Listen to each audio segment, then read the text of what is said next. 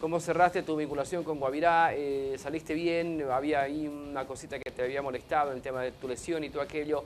Eh, ¿Estás tranquilo por esa parte y cómo te has recibido en Destroyes? ¿Te siente bien esa camiseta? Además, ¿se te ve bien, Chicho? Sí, sí, me siento bien acá en el club, la verdad que, bueno, me sorprendió todo lo que, lo que es Destroyer, la dirigencia, el club, todo, y, bueno, estamos haciendo las cosas, de tratar de hacer las cosas bien, estos clubes tienen que estar en primera por, por lo que ofrecen, y bueno, ojalá lo podamos lograr. Y acá con Guavirá, bueno, yo la relación que tengo con la gente, con, con la gente del club, los dirigentes, todo es buena, solo que para mí no se portaron bien después de mi lesión.